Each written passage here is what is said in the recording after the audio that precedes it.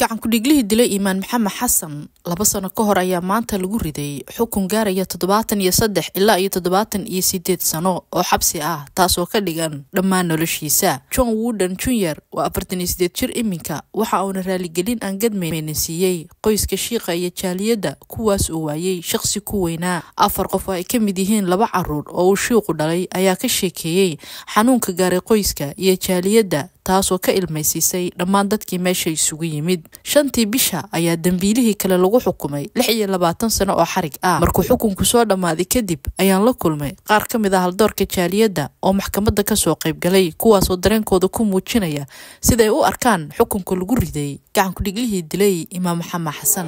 Bismillahi raxmaan raxiim alxamdu lilahi rabbi alcaalamiin wasalaatu wasalaamu calaa rasuulilah nabiyina maxamedin wacala aalihi wa asxaabihi waman tabicahum yawmi diin. Ilaahay baa mahad iska leh maanta waxaan joognaa maxkamaddii faynalkayda ugu dambaysay sheekh maxamed xasan marka ugu horraysa ilahay baan u mahad celinaynaa marka labaadna communitiga soomaaliyeed oo qayb weyn ka qaatay hadday tahay culamaadudiinka hadday tahay aqoon-yahanka hadday tahay madaxda waxaa weeyaan communitiga intaba ayaan u mahad celinaynaa bacd allahi tabaaraka wa tacaala intaa kadib waxaan u ducaynaynaa walaalkeen sheekh maxamed xasan oo laba sano ka hor waxaa weeye mujrim baajaqabaa uu dilay ilaahay subxaana wa tacala qabriga ha u nuuriyo ilaahay subxaana wa tacaala ubadkii uu ka tegeyna ilaahay tabaaraka wa tacaala ha caawiyo. Intaa kadib maanta oo faynalkii ah in kasta oo maxamed xasan ama sheekh maxamed xasan xanuun badan ay nugu reebtay oo communitiga oo ku reebtay laakiin haddana maanta farxad bay noo tahay in mujrimkii waxaa weeye dilay lagu xukumay lifekiisa. Ilaahayna waxaan ka baryaynaa. Ilaahay subxaana wa tacaala waxaan ka baryaynaa biasmaa'i alxusna wa sifaati alculaa inuu carruurtiisii iyo ehelkii uu ka tegey iyo qaraabadii iyo mujtamaca intaba boos uga baxay wax ka khayr badan ugu bedelo wajazaakum allah khayr. Wasalaamu calaykum waraxmat ullaahi wabarakaatu anigoo ka ah member culimmadii iyo dadkii businesska ee magaalada dhammaan waxaan aad ugu faraxsannahay akhiiran inaan soo gaarnay conclusionkii iyo closurkii dilkii dhibaatada badan lahaa ee soo gaaray imaamkeena imaam maxamed waxaan aad uga faa'iidaysanayaa inaan u mahad celiyo communitigii soomaaliyeed ee magaalada colombus culimmadii iyo imaamyadii masaajidda iyo sidii kartida ahayd ee aan kaharsiga aan lahayn ee loo garab istaagay u dagaalanka imaamkeenii qaaliga ahaa sheekh maxamed xasan. Marka tanoo kale ayaa tusaale u ah midnimada ummadda soomaaliyeed ee magaaladan colombus aadan ugu farxsannahay akhiiran. Asalaamu calaykum assalaamu calaykum waraxmatullaahi wabarakaatuhu waxaan u mahadnaqayaa ilaahay. Maantay waa waxaa weeyaan waa march 7 2024 saddex sano ka hor laba sano iyo bar ka hor waxaa la dilay oo niman tuuga oo burcaduhu ay dileen imaamkii masaajidka abu hurayra maxamed xasan. Communitigu wuxuu sameeyey dadaal fara badan oo baadigoob ah. Annagaa markii la dilay culimmada dadka shacabka soomaaliyeed baa raadiyey oo soo helay meydkiisa. Ka bacdina waxaannu xiriir la samaynay dowladda waxaan u mahadnaqayaa runtii oo nagala qayb qaatay hawshan boliiska colombos waxaa nagala qayb qaatay meeyarka ruuxiisa oo na garab istaagay markii hawshan la qabanayay. Runtii aan ugu mahadnaqayo waayo waxay u baahnayd in political pressure laysa saaro. Waxaa ka qayb qaatay oo aanan marnaba dafiri karinin culimmada soomaaliyeed iyo dadka soomaaliyeed dhammaantood oo muujiyey siday uga xun yihiin in la dilo nin hogaamiye ah oo imaam ah oo bulshada soomaaliyeed qiimo iyo magac ku dhexleh sidaa daraaddeed maantay dagaal badan ka bacdi go'aankii soo baxay wuxuu noqday in ninkii labadii nin oo criminalska ahayd oo dilay sheekh maxamed labadiiba midna lix iyo labaatan sano lagu xukumay midna lagu xukumay toddobaatan iyo toddoba sano toddobaatan iyo sideed toddobaatan iyo sideed sano ilaa to life. Lagu xukumay taas oo maanta isagoo afartan iyo lix sano jira. Afartan iyo sideed sano jira maantana waxaa lagu xukumay toddobaatan iyo sideed sano.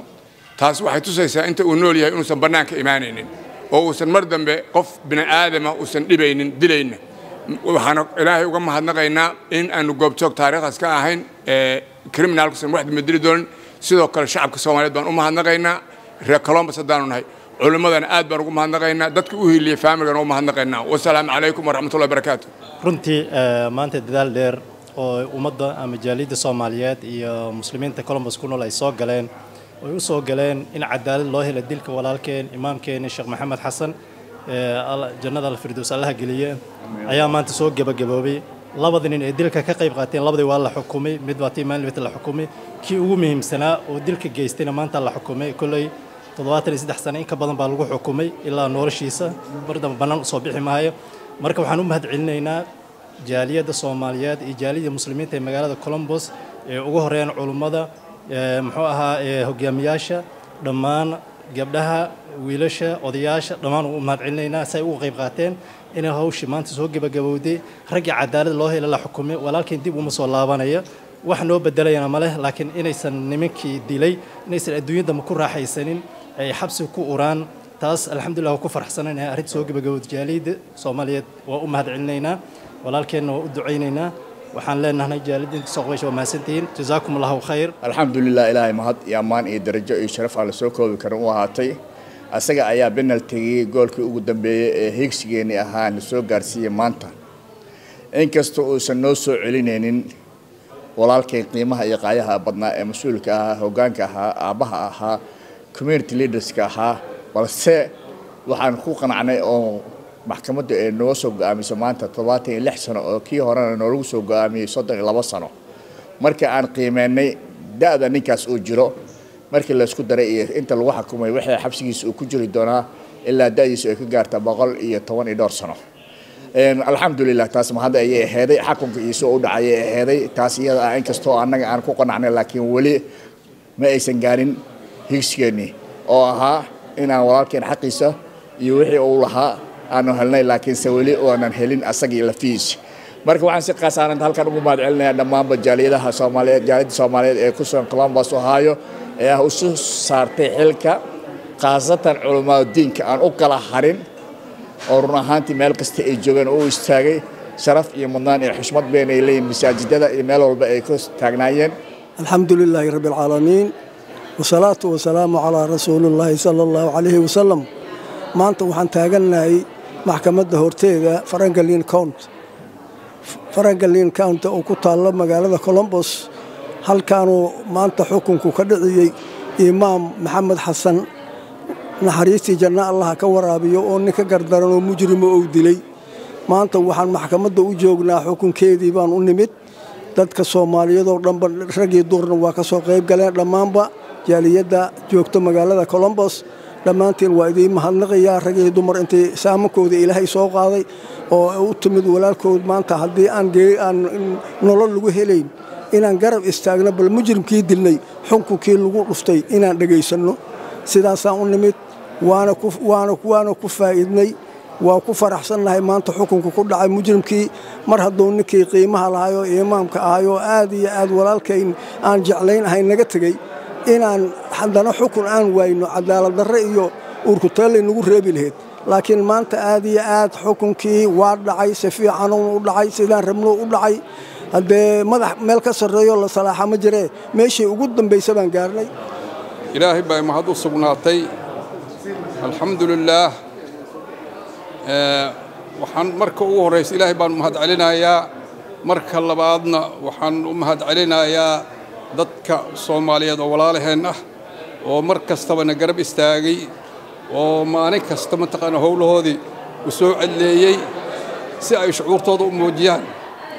Ayaan ilaahay ayaan u mahadinayaa waad mahadsan tihiin kheyr allah idiin siiyo. Ninkii cadowga ahaa kuwii cadowga ahayna insha allah xukunku ku dhacay. Ilaahay xaggiisba qadar ilaahay bay ku timid. Insha allaahu wixii kaloo dhimanna ilaahay waxaan ka rajaynaynaa inay gacanta ay soo galaan. Waana mahadsantii wasalaamu calaa rasuulillaah ama bacdu. Assalaamu calaykum waraxmatullaahi wabarakaatu maanta waxaan joognaa maxkamaddii waxaa noo soo gabagabooday keyskii imaamkayagii sheekhayagii oo labadii sano iyo barkii ugu dambaysay uu keyskiisa socday. Waxaan ku faraxsannahay maanta in la soo gabagabeeyey waxaan ku faraxsannahay in dembiilayaashii geystay dilka imaamkayagii aanu jeclayn in labadaba maxaa la yidhahda la xukumay. Weliba xabsiyo dhaadheer lagu xukumay midna lagu xukumay midna lagu xukumay toddobaatan iyo siddeed sano hadduu ilaahay yidhaahdo weliba kii dilka geystay oo gacantiisa ku dilay. Marka waxaan halkan kaga mahad celinayaa bahda saxaafadda culimmada communitiga soomaaliyeed khaasatan familkii imaamkayaga imaam maxamed xasan inay ilaa maalinta ay bilaabatay trialkiisa ilaa iyo maanta ay imaanayeen. Waxaa mahad gaara mudan also communitiga soomaaliyeed ee degan magaaladan columbus degan sida ay u soo garab istaageen sida ay u yimaadeen siday u soo buuxdhaafiyeen arrintaasna waxaa mahad gaara la leh wadaadada bahda saxaafadda oo dadka shacabka ee degan magaaladan ku dhiirrageliyey inay yimaadaan maxkamadaha. Ilaahay ha u naxariisto imaamkayagii familkiisii iyo qoyskiisiina sabir iyo iimaan allah ka siiyo. Assalaamu calaykum waraxmat ullahi wabarakaatu assalaamu calaykum waraxmat ullahi wabarakaatu maanta waxaan joognaa magaalada columbus state of ohio. Waddanka maraykanka waxaan joognaa maxkamadda franklin county waxaana u joognaa sheekh maxamed. Allah u naxariiste maxkamaddiisii waa farxad u soo hoytay ummadda soomaaliyeed. Dhammaan meel walba ay joogaan. Waa arrin aad loogu farxo. Ugu dambayntii waxaa la helay cadaalad. Waxaan aad ugu mahad celinaynaa ummadda soomaaliyeed iyo siday u garab istaageen faamiliga khaasadan communitiga soomaalida wadaadada masaajidada sida imaamka loogu kacay. Arrin muhiim bahayd in imaamka loo kaco. Maxaa yeelay haddii aan hawsha imaamka loo kicin waxay noqonaysaa in imaam walbaba la dilo oo hadhowtii aan la arag wax micnaha communitiga oo dee u soo kaca oo sameeya in inay wax muhiim tahay marka waa soo gaabinayaa waxaan laakiin u mahad celinayaa dhammaan ummadda soomaaliyeed ee ka qayb qaadatay hawshan. Dhammaantiin asalaamu calaykum waraxmat ullahi barakaatu maanta waxaan joognaa maxkamaddii waa march seven oo lagu xukumayey dilaagii sheekheen imaamka nafta ka qaaday john wooden. Alxamdulilah communitiga waxaan halkan aan rabaa inaan ugu mahad celiyo dhammaan dadkii communitiga ahaa ee soomaalida ee ka soo qayb galay maanta iyo intii ay socotay dacwadan dhanba. Habeenii maalin u soo jeeday. Dhammaan waa u mahad celinaynaa anigoo behalf of family ku hadlaya insha allahu tacaala. Waxaan kale oon u mahad celinaynaa xukuumadda halkan ka jirto gobolkan degmadan maayarka iyo booliiska iyo iyo kulli dadkii ka qayb qaatay in ay arrimahan fududeeyaan. Inkastoo waqti dheer ay qaadatay aad iyo aad mahad aan la soo koobi karin. Ilaahay ka sokow waxaan u mahad celinaynaa dhammaan bulshadii soomaaliyeed ee garab istaagtay ee ka dhiidhisay imaam maxamed. Dilkiisii loogu geystay colombos ohio. Waxaan la dardaarmayaa soomaalida degan colombos ohio. Waxaan leeyahay midnimada ha laga shaqeeyo. Annaga wakhti dheer aan soo gelinay arrintan. Wiilal badanaa nooga maqan. Imaam keliya ma ahan. Magaca unbuu ku weynaa. Laakiin soomaali badan ayaa maqan oo ah loo dilay sabab la'aan. Waxaan rabnaa soomaalida inay midoobaan information center ay yeeshaan ay isku xirmaan insha allahu tacaala. Waxaan samayn doonaa abreciation oo ummadda soomaalida deggan halkan communitiga iyo muslimiintaba aan ugu mahad celin doono juhdigii weynaa ay geliyeen imaam maxamed insha allahu tacaala. Waa mahadsantihin asalaamu calaykum waraxmatullah bismi llah alxamdulilah wasala allahuma calaa sayidina maxamedin wabacd bacd allaahi casa wajal waxaan u mahadcelinayaa mujtamaca soomaaliyeed qaybaheeda kala duwan oo dhan guddoomiyaheeda culimmadeeda odayaasheeda hoggaan dhaqameedkeeda hooyooyinka cid walba. Dadaalkan ilaahay sokadii wuxuu ku yimid midnimo ummadda soomaaliyeed ay keeneen. Meydka sheekha waxaa helay waa bulshadeenna. Mudaharaadka waxaa abaabulay ee yuhuud iyo kiristyaan cid walba isugu yeelay waa bulshadeenna. Dhaqaalaha waxaa ururiyey waa bulshadeenna saxaafad iyo meel walba waxaa hadda duubaya waxa meesha taagan waa bulshadeenna taas waxay hoosta ka xariiqaysaa ahmiyadda midnimada ay bulshadeenna u leedahay. Waxaan rabaa ummaddeenna inaan idhaahdo dadaalka xaggaa ka sii wada walaalo badan oo naga maqan oo la dilayna. Xaqoodii aan u istaagno waxaan si khaasa ah uga mahad celinayaa walaashan deeqasoono iyo dhammaan bahda. Saxaafadda oo runtii hawl qayima ummadda u haya. Wasalaamu calaykum waraxmatullahi wbarakatu alxamdu lilah rabbi maasha allah maanta waxay inoo tahay maalin farxad leh oo mataqaanaa sheekheena uu cadaalad helay. Maanta waa maalin. Mataqaanaa sheek aad u farax badan. Taariikhdu waa toddobada bisha march oo waxay ahayd balantii oo mataqaanaa ninkii oo dilay sheekheena allah u naxariista sheekh maxamed xasan ayaa lagu xukumay. Toddobaatan iyo siddeed sano ilaa iyo life ayaa lagu xukumay. Cadaaladdan waxaan sugaynay muddo dheer oo laba sano iyo bar ah. Marka waxaan u mahad celinayaa dhammaan jaaliyadda oo mataqaanaa ka kooban ummadda soomaaliyeed iyo iyo ummado kaleeto oo ajanabi ah oo mar walba ka soo qayb galaya mar walba u taagnaa maxkamadaha mar walba balanta maxkamadaha ka imaanayay oo tusaya mataqaanaa sheekh sheekha mataqaanaa inuu dad leeyahay inuu community leeyahay oo mataqaanaa cadaaladda u taagnaayeen sidoo kaleeto waxaan u mahad celinayaa dhallinyarada odayaasha aqoon-yahanada dhammaantood way mahadsan yihiin siday mar walba ugu taagnaayeen oo ugu soo qaybgalayeen maxkamadda waxaan leeyahay familka maanta cadaalad ayaa heleen familka sheekha cadaalad ayay heleen iyo carruurtiisa dhammaan communitygana maanta sheeg farxad ayay u tahay. Maasha allah tabaaraka allah halkan waxaan ka salaamayaa dhammaan shacaba weynaha columbus ohio hambalyaan leeyahay. Maanta guul ayay noogu dhammaatay maxkamaddii ugu dambaystii dembiilihii ugu weynaa ee master mindka ahaa sheekha imaamka. Kidnab gareeyey ayaa lagu soo oogay xukunkii oo lagu riday mujtamacii communitygiina. Aad ayay ugu istaageen aad baan u faraxsanahay shucuurtaydu cirkay maraysaa. Maasha allah baan leeyahay in sidaan la duubnaada ayaan u baahannahay in la wajaho wax halaalay wixii mushkil la xidhiidha communitiga si horle looga soo wada horjeestaan leeyahay reerkana waxaan leeyahay maasha allah tabaaraka allah samiriye iimaan sheekhu dhammaantiin buu naga wada dhintay reer columbus waan idin hambalyeynaya waan idin salaamaya dhammaantiin aad baanad u mahadsantihiin Assalamu alaikum everyone. My name is Ali Latif. I am the family attorney for Sheikh Mohammed Hassan Adam. Uh, Shukri Hassan is one of my clients. Alhamdulillah Rabbil Alameen, we just finished uh, the sentencing of John Wooden Jr., who was charged with murder, among other things, of the Sheikh, uh, Allah yarhamu. And the judge, Alhamdulillah, has served justice today. Um, he, she sentenced uh, John Wooden to 73 years to life in prison. So, inshallah, he's going to be spending a very long time there, and justice has been served. Um, we're thankful to the prosecutors, to the Franklin County courts, and to Detective Westfall and the Columbus Police Department for their hard work and their efforts in this case. This has been almost a two and a half year journey, as you all know. We've all been praying, making dua for the family, for Sheikh Mohammed, and today we got the result, as well as on Tuesday, where his co defendant was sentenced as well. So, Alhamdulillah Rabbil Alameen, we got the result that we've been working for. Assalamu alaikum warahmatullahi wabarakatuh. Shukri Muhammad Hassan waaye alxamdulillah maanta ninkii aabahay dilay waa la xukumay waxaa lagu xukumay toddobaatan iyo saddex iyo noloshiisa inta ka dhiman. Aad iyo ugu faraxsanahay maanta guusha aan gaarnay. Waxaa noo darnaan laheyd inuu magaalada wareego ninkii aabahay dilay. Laakiin alxamdulilah waxaan ilaahay u mahad celinaa guusha maanta aa gaarnay. Waxaan also u mahad celinayaa dadkii soomaalida ahaa communitygii bulshadii columbus iyo bulshada caalamka inta ay nagu caawiyeen inta aan ku jirnay sanadihii dhibka badnaa. Alxamdulilah anaga kaligeen ma sameyn lahayn laakiin garab qabadka ana garab istaagteen aad iyo aad u mahadsantihiin dhammaantiin. Jazaaka allahu khayran iskuullada horizon waxa ay ka mid yihiin kuwa ugu wanaagsan ee iskuullada sida gaarka loo leeyahay ee columbus ku yaal. Afar xarumood oo ku yaalla waddada morris road oo kale ah dugsiga hoose midka dhexe iyo laba kuwa sare ah waxaa ka go-an mid kasta bixinta waxbarasho tayeela iyo soo saarista hogaamiyaasha mustaqbalka. Ilaa dugsiga hoose oo halka ay caruurtu ka bilaabaan tallaabadooda ugu horeysa ee dunida waxbarashada. Aadistooda iskuullada sare oo halka ay ugu diyaargaroobaan mustaqbal leh fursado aan dhammaad lahayn.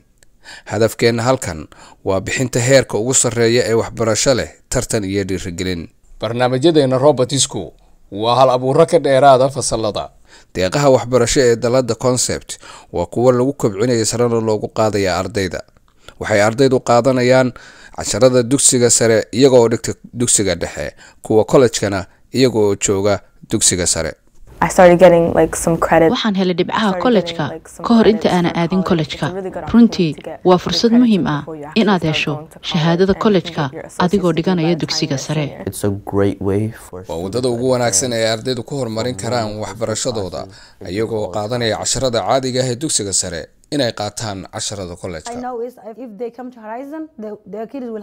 waxaan ogahay in haddii aad timaadaan iskuullada horizon in caruurtiinnu ay heli doonaan mustaqbal iftiimaya oo wanaagsan iyo waxbarasho taya leh. Iskuullada horizon waxay ka caawinayaan ardayda laylisadooda si bilaasha iyagoo ka soo qaadaya guryahooda kuna celinaya haddii ay columbus degan yihiin. Horizon macahadka sayniska iyo waxbarashada ee columbus